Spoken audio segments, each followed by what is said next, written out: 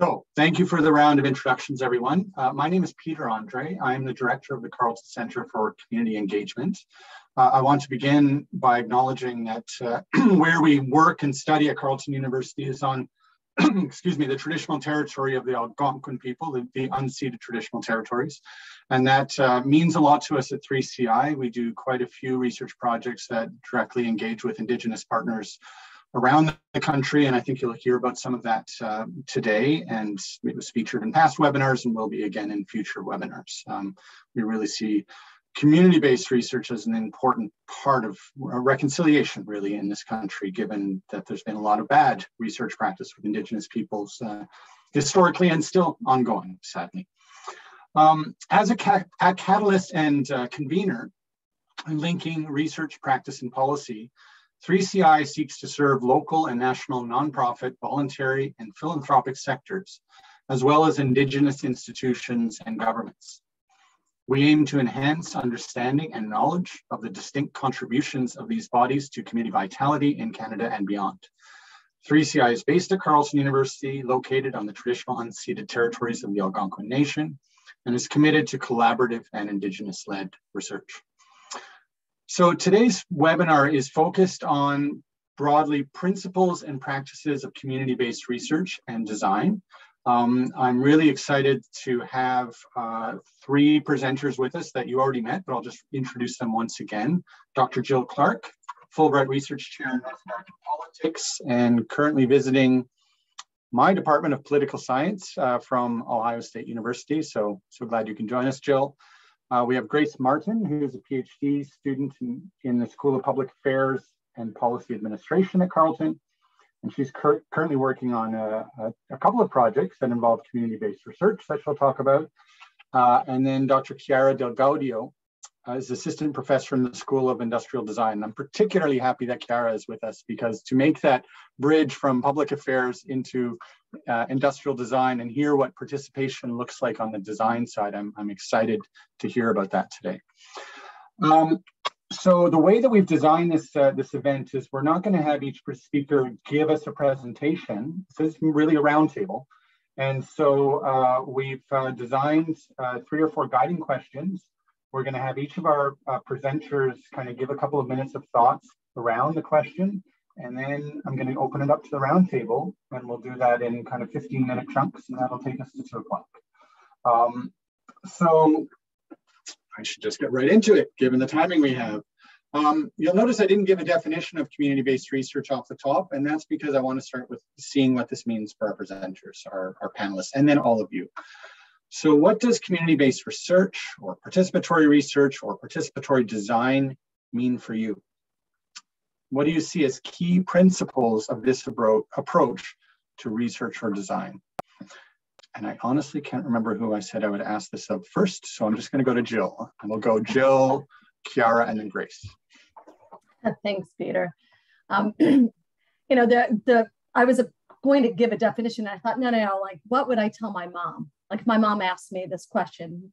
You know, I I said, I'd tell her, hey, mom, community members are doing things with me. I've shared some power in the research process, but probably most important to me is that they find value in, in what I'm doing. And I, I, would say the one thing that I um, am struck by, and Peter, when you said participatory research or community-based research or participatory design, those are different things. And, and, and often I think one of the misunderstandings of community-based research is that you and the community members, and we'll talk about what community means in a little bit, that the community members must have the same research question. That's not been the case in my work. And I'm going to give you two examples of when we don't have the same research question. One is where we're co-creating something of value between us. I might have a research question related to it, but my nonprofit partner, we might be creating data that they can use in a grant application my grassroots coalition might be able to use those maps to target where they um, try to get their neighbors to join them in on a policy initiative. So you could be co-creating something that you're all using differently, kind of like a boundary object. And then the other example I want to give is when you're doing more of the participatory research, where I might have a research question, but my participation, um, I've been volunteering for 10 years with the same organization. It's a coalition, a food systems coalition. My, my service ends up being part of um, the reciprocity there. And anyway, I can get into that long-term relationship, which is actually one of my first principles, and then I'll wrap up, is that, and I know this might not work for some of you who are working on master's theses or PhDs, but uh, probably the, the thing I would say is think about this as a long-term relationship and not just a project. Um, my most fruitful work has been part of a decades long um, relationship with a, this group. And then two other quick things. One is don't assume everybody knows what you mean by research. There's, it's very ambiguous. Um, and finally, recognize there's a long history, a long institutional history that has come before you. And what you do um, and what you want to do is going to be layered on past experiences. And if you work with marginalized communities, those can oftentimes be deep, um, um, negative um, histories, like, um, you know, in the neighborhoods around where I work. Um, and they may, um, community members may just also lump you in with a lot of institutional history that's very negative for their community. So just be aware of that. I'll, I'll pass it on. Thank you, Jill. Uh, my answer will be a little bit uh, different in terms of focus, probably. Um, I work with uh, participatory action research and participatory design. I also recognize that there are different ways of understanding all these practices. And um, for instance, uh, recently in participatory design, uh, whose community I'm part of, uh, we have been discussing what participation means and uh, how it means something different in different cultures. So I'm quite open to, to change my understanding of it over time.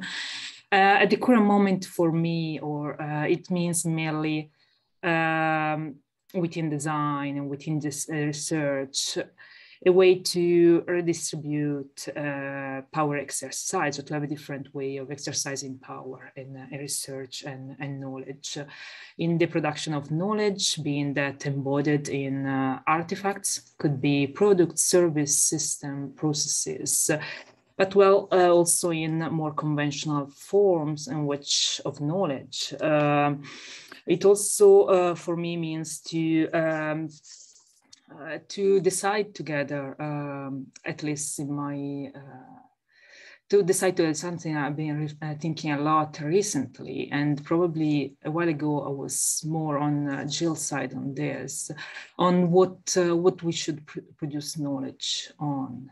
I think, and who should be part of this knowledge production. Um, at the same time, for me, it's a way to try to reduce the distance between academia and the real world, even more because I think that uh, knowledge is not produced uh, in uh, academia or not only, but is also produced through intervention, uh, intervention action, and that's an intervention action is uh, is a cognitive process, and there is no knowledge and reality are in flux, and we can only follow those processes described uh, I think these are the three main things that for which I uh, use these approaches and uh, what they mean to me. Uh, key principles, I would say openness to changes, to divergent, divergent ideas and outcomes, and also be brave to, to accept them and embrace them. I would say being uh, uncertainty okay be again brave to face that. And uh, in doing this you probably need to listen and be in dialogue with what is who is there. Listen also to the field. This is something that i learned probably in the hard way throughout my path. Um, so flexibility and at the same time embracing small and minimum quotation mark results uh, one thing that um, Jill mentioned is that this require it's not a project. Uh, it's uh, it's a long-term endeavor relationship. Uh, you become part of something, and uh, and changes transformation happens over a long period of time. you know, except catastrophes or something like that, they require time and effort. So just be happy with them, embrace them. Yeah, I think that's it Okay, great. Thanks. Um, yeah, so some of my uh, thoughts were going to be are going to be echoing what others have already said. Um, but for me, I really see community-based research, uh, in particular research with Indigenous communities, because I'm speaking to the experience um, of the, from the research I'm doing, um, as a means to foster interdisciplinary, cross-cultural, and intergenerational learning and knowledge transfer. Um, and the key principles of community-based research in this context for me are reflexivity, um, reciprocity, respect, and relationality. Um, and these are certainly not my ideas. Um, they come from critical Indigenous researchers such as Shawn Wilson and Zoe Todd, among many others, as well as um, several Indigenous and non-Indigenous researchers that I'm uh, grateful to have the opportunity to work with in my research, um, as well as other mentors, uh, even in the school uh, at Carleton.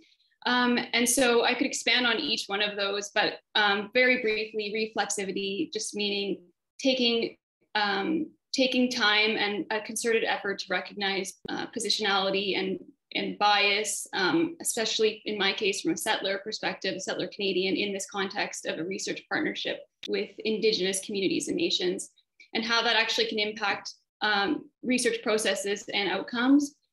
Uh, reciprocity simply meaning um, that there are mutual benefits, so benefits to the community, and those benefits are actually benefits that the community would find meaningful. So not something that necessarily we like those actually have to come from the community, and then there's a way to actually ensure that those benefits are being accrued, and then on equally benefits to institutions and researchers um, because there are many benefits of working in partnerships, and those are not often um, being spoken about. If, for example, in grant applications, the benefits are often stated as going to communities, but there are certainly several benefits to people like myself and others in the institution of academia.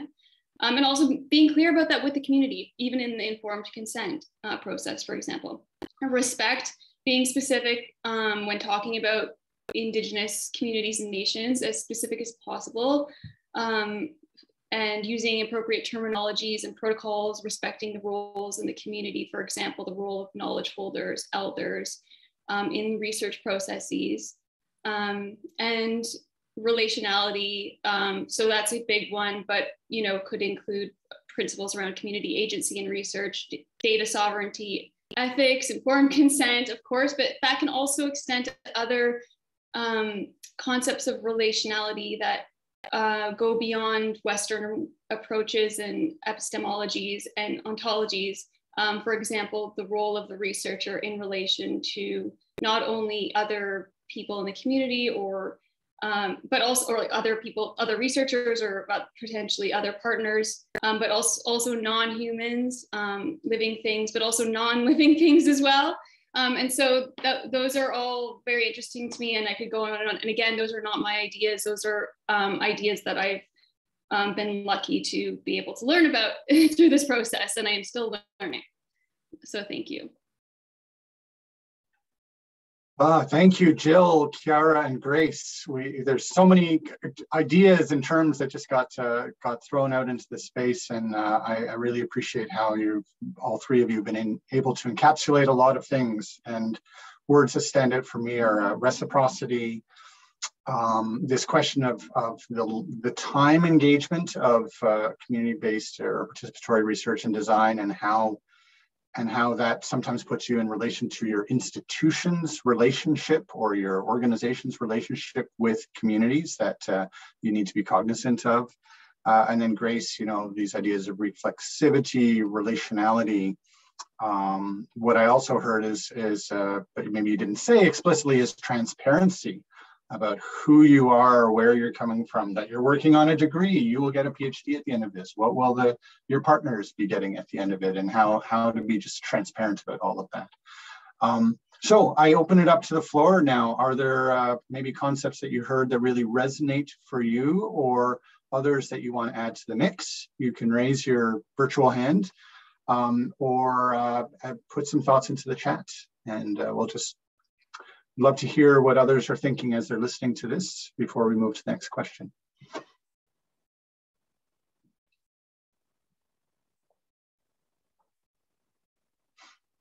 Kathy, go ahead. You can always count on me to have a question. Um, so I found this absolutely intriguing, and like this could be the whole discussion, um, talking about this. And my mind is already going, oh, wait a second, how does this fit?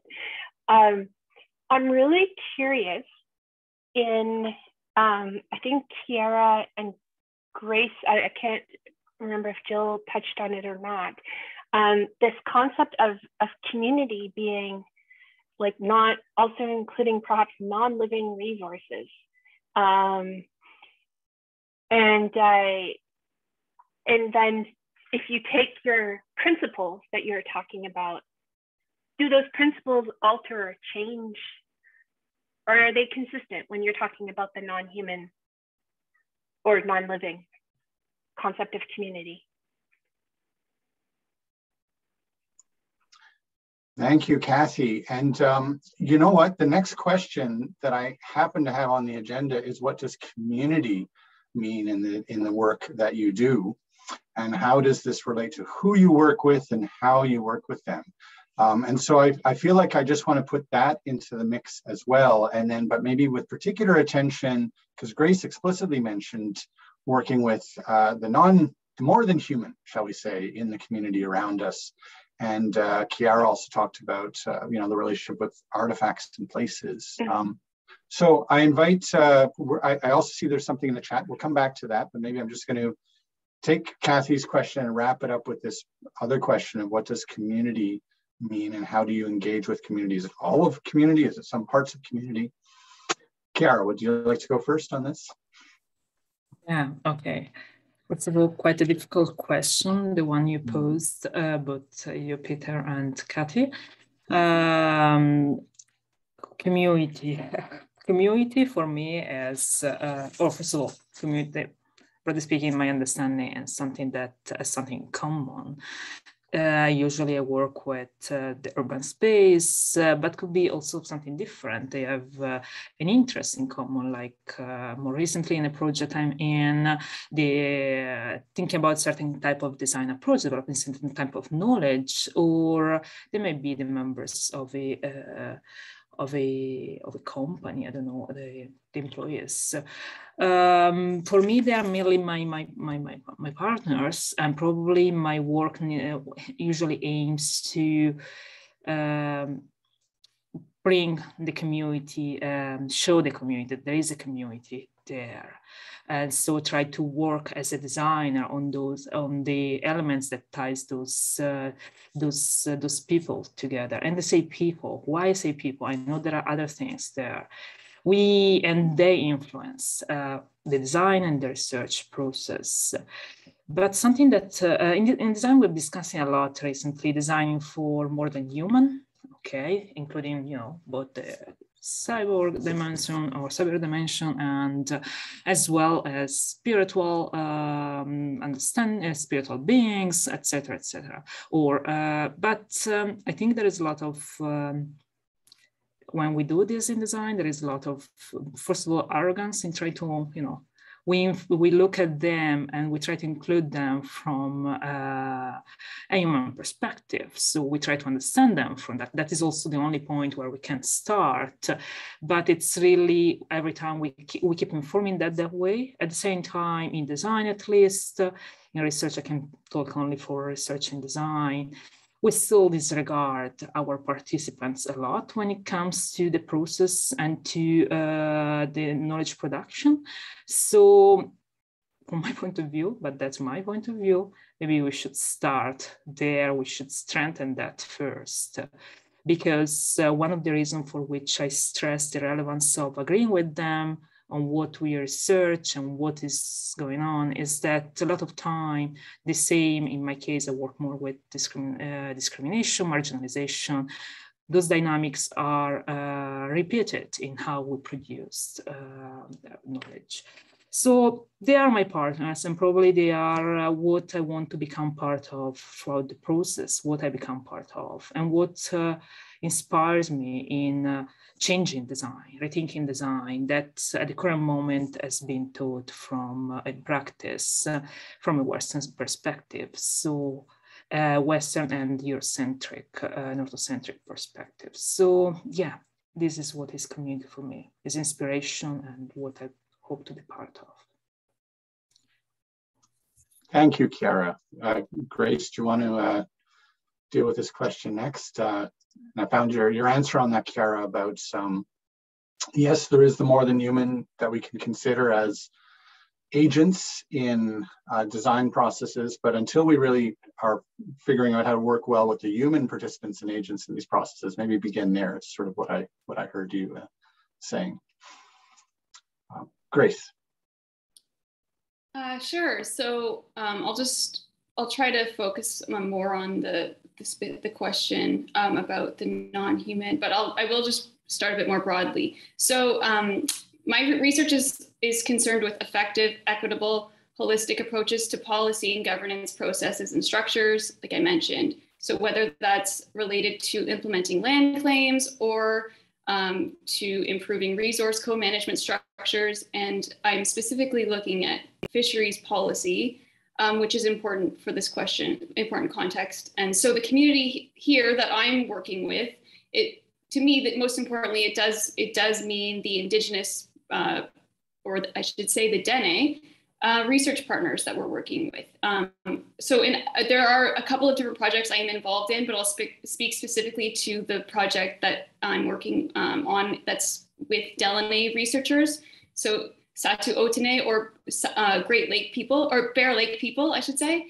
And they're um, located on Great Bear Lake on the Northwest Territories. It's a community of about 600 people um, and it's the only community on the lake. And the lake is in near pristine condition, and there are, there are these uh, fish populations which are um, extremely healthy, like relatively healthy, but like in this day and age for fish, very healthy.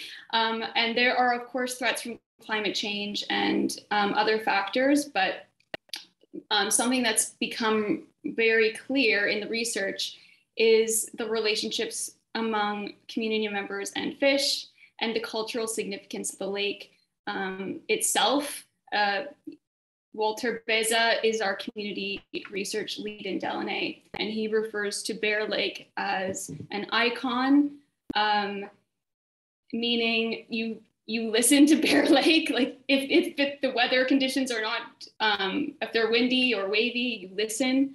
Um, and it's difficult for me to try to paraphrase this knowledge and these stories from him because it's not my knowledge so i'm aware of that as i'm trying to do it but i think it's still useful it's still useful to try um, and another aspect is the relationship to fish so the cultural significance of fish and and because my research is looking at or I, I should say our research in this context some of it is is kind of for my phd and some of it is ours and that's a whole other question.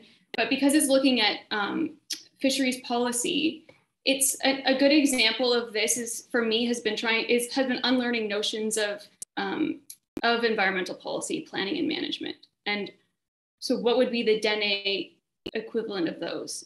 Um, and and why do we think that this that dene knowledge needs to fit within western or dominant paradigms um, when i asked walter about what he thought about the co-management regime or uh, current environmental policy. It's he understands that and he has a great respect for it, but at the same time, he's he says we're already monitoring the lake through our own ha- harvesting.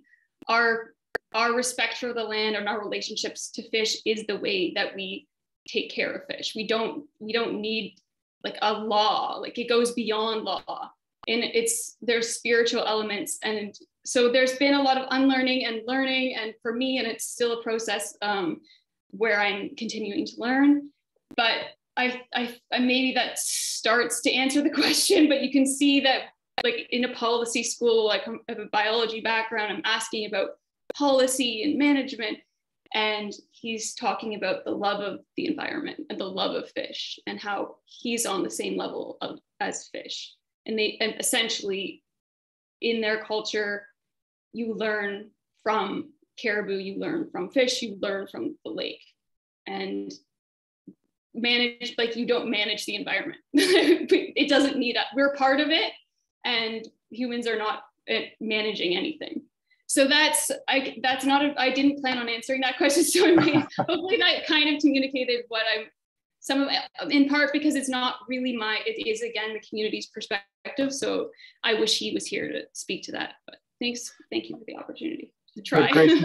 that's a really interesting response to kathy's question. And what i heard and this relates actually to what Chiara was saying as well but in, in your response um, the more than human comes in by uh, challenging the, the Western ontology that holds uh, the people and their lake and their fish as somehow separate and that you're only doing you're not only doing research with the people you're doing pe- relationship with the people in that place and in those relationships and that's all when you approach it from that direction then the more than human is is present yes thank you for bringing that back to that and like a very quick example is you know on our informed consent form including the lake including the fish hmm. in that in acknowledgements and presentations, including the lake, including the fish species in them, in those, and not in a way that is, is genuine. And, and ultimately, when we're in the community showing respect, I'm there's cultural protocols around that that I don't even know yet that I'll need to learn before I'm there. So that's a great question. Thanks. Yeah, thank you, Kathy, for that question. I'm going to turn it to Jill now uh, with uh, the broader question again. What does community mean for you in uh, your work, and what does that mean?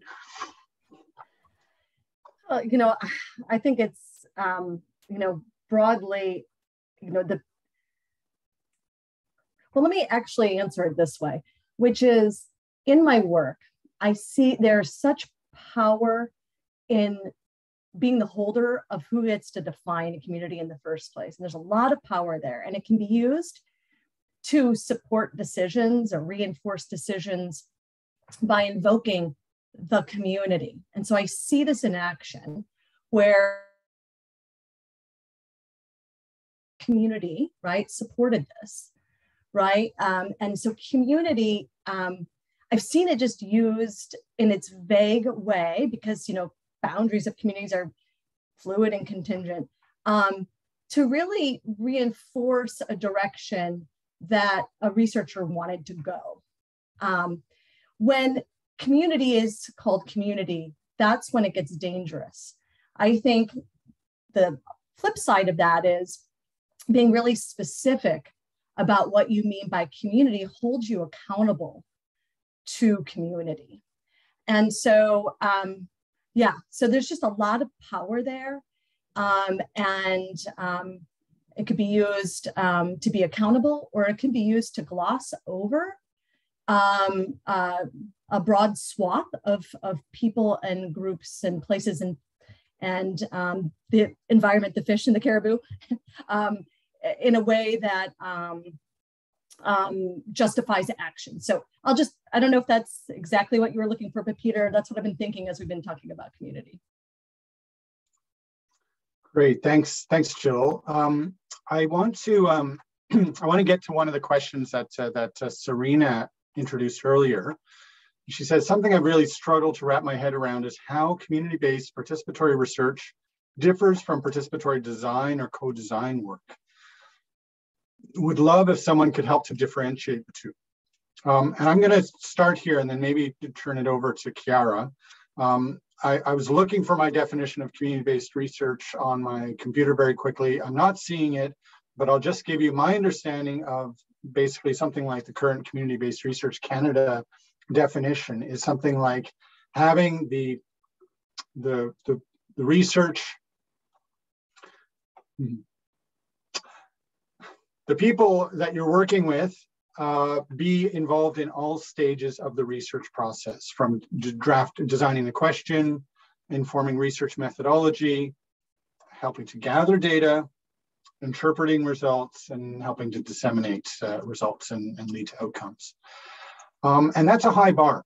And I'm just putting it out there because I think that's where participatory research coming out of the work of Paulo Freire and people like that, uh, very much working, wanting to empower those who are most marginalized and have them become part of the research process. That's where these ideas started, let's say in the 60s and 70s. Um, and it is a high bar to have your uh, participants be part of all stages of that process. And frankly, there are times when some of the people we work with don't want to be part of all stages in that process.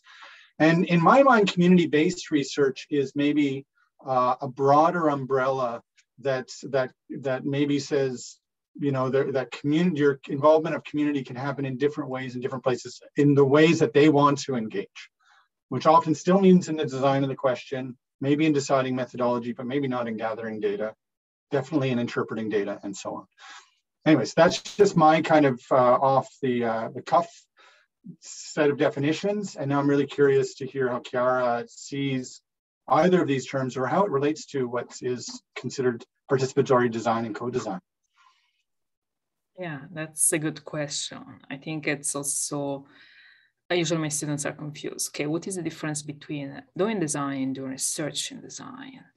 Um, and I can understand the confusion they have. Uh, so when you do design, you design something broadly speaking, can be again process, product, service, system, whatever you want, policy. Uh, but uh, and you can have a research part in this in that process, okay? But that research aims at the, the design of, let's say, product design of an artifact, okay?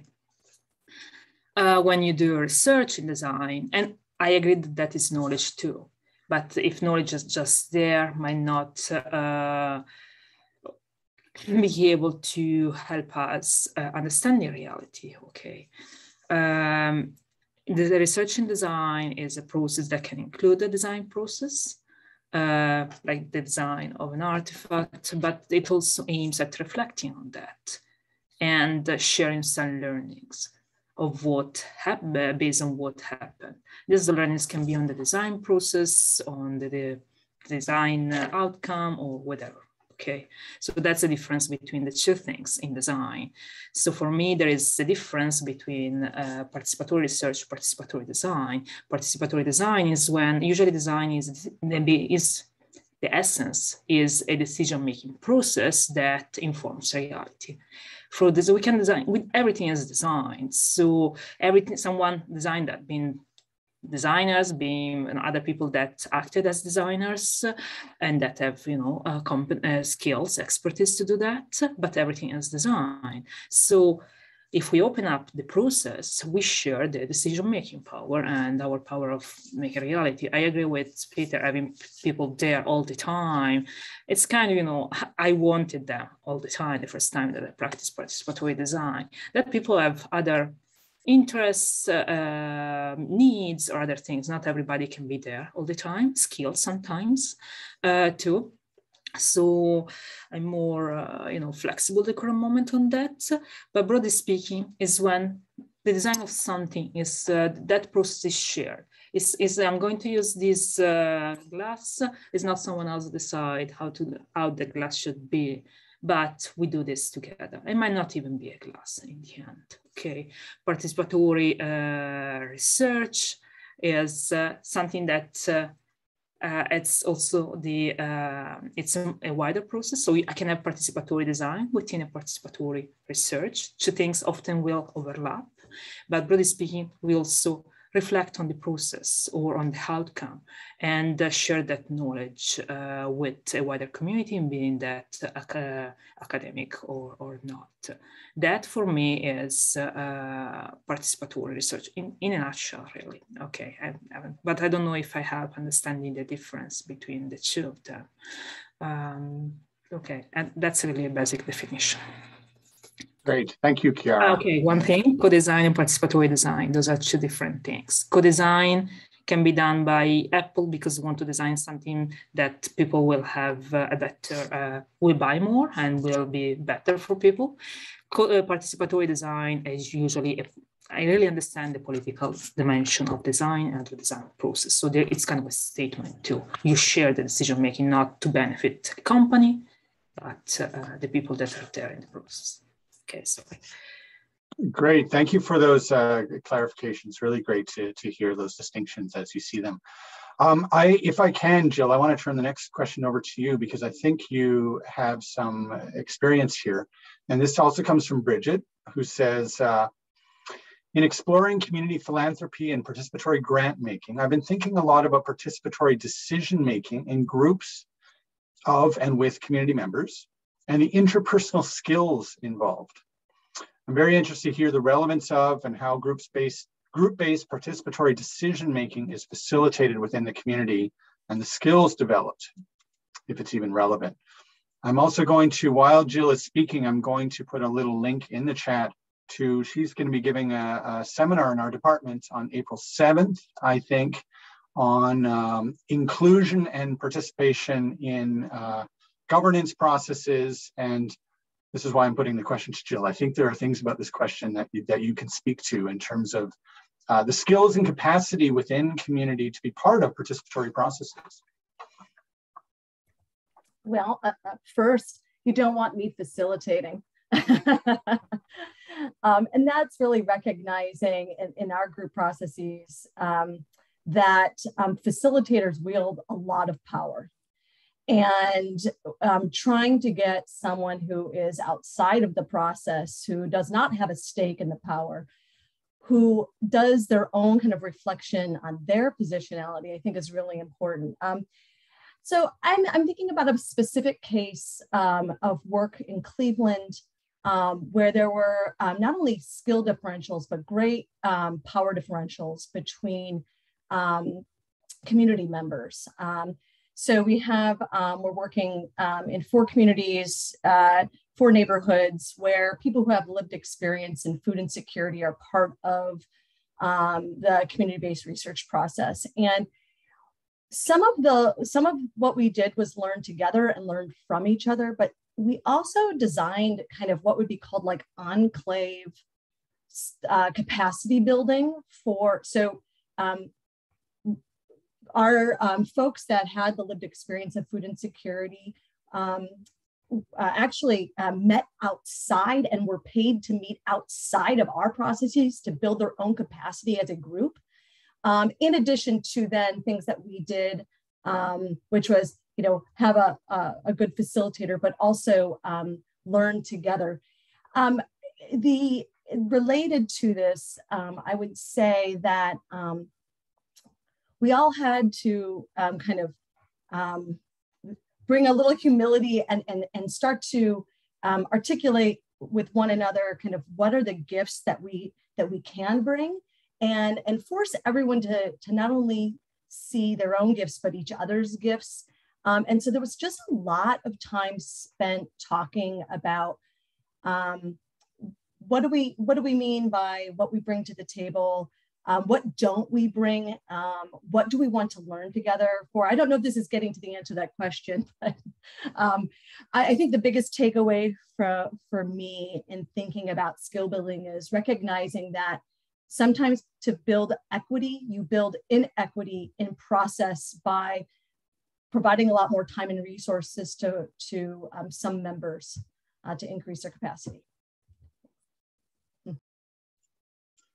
Thank you, Jill. Um, I'm going to read out a question that uh, Winona introduced in the chat, and then I'll turn it over to Doreen to uh, make her comment or question. And um, then I'm just going to see where we're at at that point. And we might, I'm, I'm, hoping that we might still get to the third topic, but we're going to see where we're at once this comes out. So uh, Winona says, I have a question related to protecting the intellectual property of community members lived experience, traditional knowledge, etc. How do we ensure this?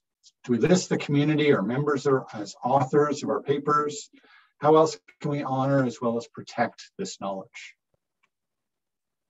So uh, I see Grace maybe nodding, so maybe I'll see if you want to speak to this in a second, but I'll turn it to Doreen first. Doreen? Um, I wanted to uh, bring up uh, service design, um, in particular for communities uh, I've noticed that for retailers, uh, working with large retailers, they don't particularly look at community um, needs because they feel that they know what they want. And this is pretty broad, um, but I've been working in the food industry, so I see it that independents, like independent uh, food stores, really rely on community, or so they say, to help them um, innovate. Um, but they are in serious decline in Canada um, because we have a very, you know, we have a self-regulated system. Um, it's going to change now, um, starting probably April. They're going to start regulating or proposing regulation, but this doesn't often happen. Um, and I'm just wondering, um, I mean, it gets very complicated too, um, because, you know, these services are sometimes in small communities much more easier to engage with communities, but in large cities, um, it's kind of overlooked.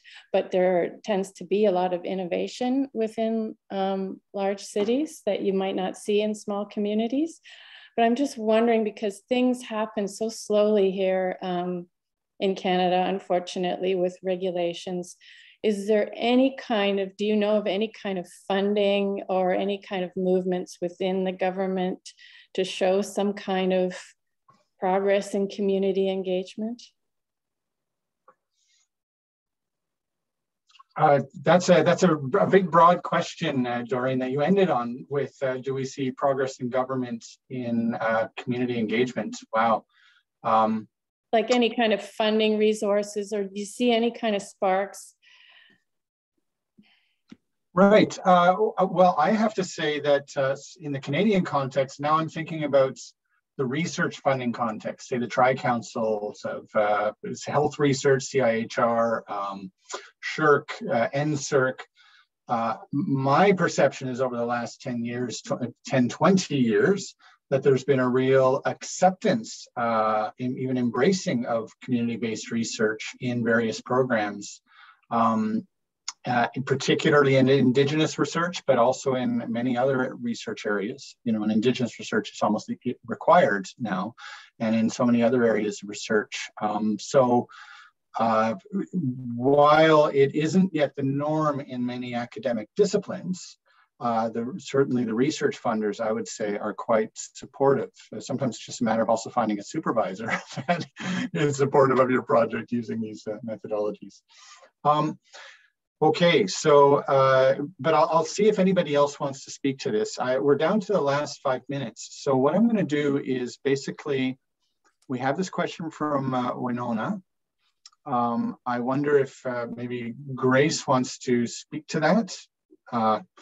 And then what I'm gonna do is, is give a chance for a last uh, uh, sort of minute and a half to each of our speakers to address any of the topics that we've been talking about today that they still want to kind of come back on, including questions they've heard, uh, and or to discuss any kind of uh, lessons that they've learned from their work or that they that they want to still work uh, learn moving forward because we just have a few minutes left. So Grace, over to you first. Okay, I'll keep it quick. I, there's a lot. This is a really important discussion, the area of data sovereignty ultimately. Um, there's a lot on this, and I'm very happy to speak with you about this after too. But the short answer, I think, is really if you're in a position where you're already working with the community, ask the community, ask the research lead, ideally that person, you have one or two contacts that can work, like that can represent the community. Um, and then follow those and honor those protocols that are ideally already established. If they're not established, then the role it becomes to work to establish those protocols and have them written down and have a research agreement that clearly states what is going to happen. And that can be on the, they can all be on the informed consent um, forms. Um, and you can look to, there's it's like speaking of government like SSHRC, there's the Tri-Council policy statement, um, has a course, free course around ethics, but more specific to data sovereignty is the principles of OCAP, the first uh, ownership, control, access, and possession is specific to data sovereignty. That's a course that you can take through Algonquin College for about $200. I was very lucky to take it um, because I'm involved in research projects associated um, with Carleton with 3CI. And um, so I'm very, I believe I learned a lot there. I would direct you there, but basically, ideally, if the community is being involved in all the stages of research, they want to be, then that will be easier to get a clear idea. If not, then establishing a governance process and, and really point like work and it might mean the re, you re, as a research as the academic researcher writing down those protocols and having them be like consulting on them um, and making sure people agree to those. We're in the process of doing that, but yeah, there's data sharing agreements, data management, research agreements, statements of principles, and there's a lot of information out there. Um, it's a really important area. Yeah, I think it's a great question. I'll keep it at that. Thank you, Grace. Uh, yeah, I agree that there are practices, there are protocols. I put in a link to the ownership, control, access, and possession of uh, data from the uh, uh, First Nations uh, Information Governance Center, which is, I think, at Tyendinaga. Um, and uh, so you can link into that. I also just want to mention before we turn it now to Jill and Chiara for their final thoughts is a few links up. I put in a link to a seminar feedback form for this seminar. So if I'd love it if you click on it so that when we close it, you'll still have a window on your computer where you can just give us your feedback on this event and what you'd like to hear in future. So uh, for some final thoughts, I'll turn it first to uh, Jill. Thanks, Peter. Um, I just dropped in the chat uh, a new report out for what we learned from listening to our neighbors. Many of our neighbors around Ohio State University's campus are um, low-income minority um, uh, residents. And so um, in case you find that interesting, I'm just gonna leave you with this, something really embarrassing, um, some pitfall I wanna avoid in the future.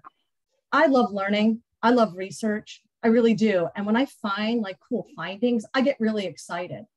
And most recently, I have findings about um, the link between racism and decision makers in our community.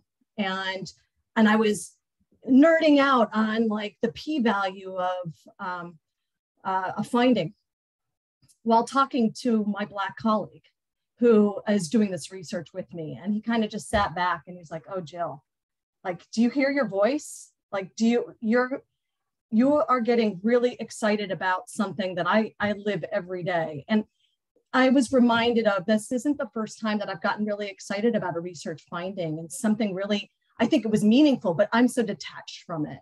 Um, and so I hope to, you know, bring a little bit more of um, learning from that in the future. So a pitfall is when you're a researcher and you're separated from what you're researching, you, you, you just have to keep that in mind. Don't don't do what I just did.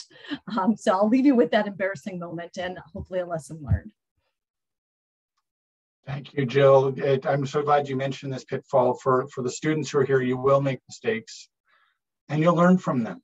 And uh, this is still very important work. Chiara. Okay.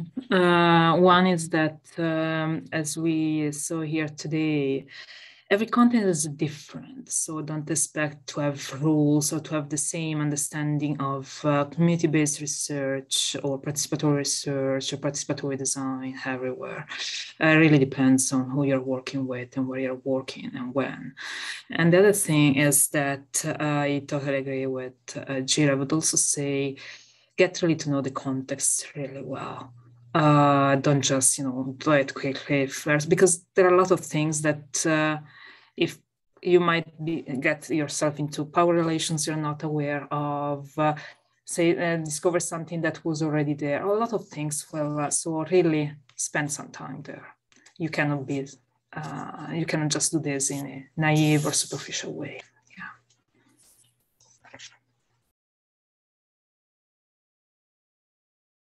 We can hear you, Peter.